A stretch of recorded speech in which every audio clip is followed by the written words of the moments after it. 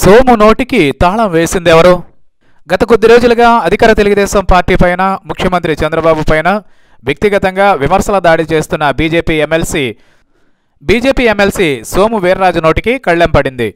ఆయన మిత్రపక్షంగా ఉన్న టీడీపీపై అనేక సందర్భాల్లో సంచలన వ్యాఖ్యలు చేసిన సంగతి తెలిసిందే.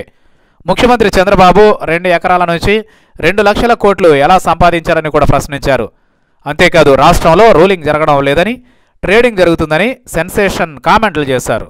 దీనిపై టీడీపీ నేతలు సోము వీర్రాజుపై ప్రతి విమర్శలు చేసిన టీడీపీ అధినేత చంద్రబాబు దానిని నిలుపుదల చేశారు.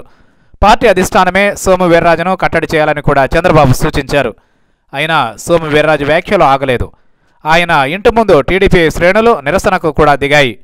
ఈ నేపథ్యంలో పార్టీ అధిష్టానం అన్నదండలతోనే సోము వీర్రాజు ఇలాంటి వ్యాఖ్యలు చేస్తున్నారన్న అనుమానాలు కూడా వచ్చాయి.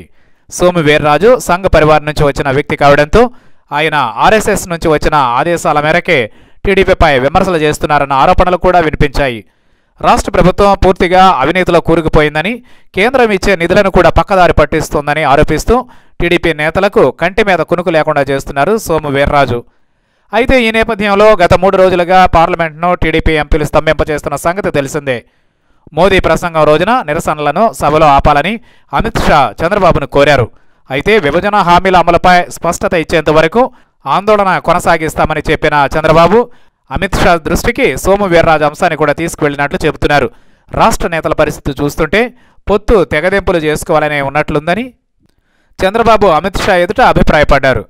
దీంతో అమిత్ షా నేరుగా సోము వీర్రాజుకు ఫోన్ చేసి సీరియస్ అయినట్లు తెలిసింది. మిత్రపక్షంపై ఇష్టం వచ్చినట్లు మాట్లాడేందుకు అధికారం ఎవరిచ్చారని అమిత్ షా ఒకంత సీరియస్గానే ప్రశ్నించినట్లు చెబుతున్నారు.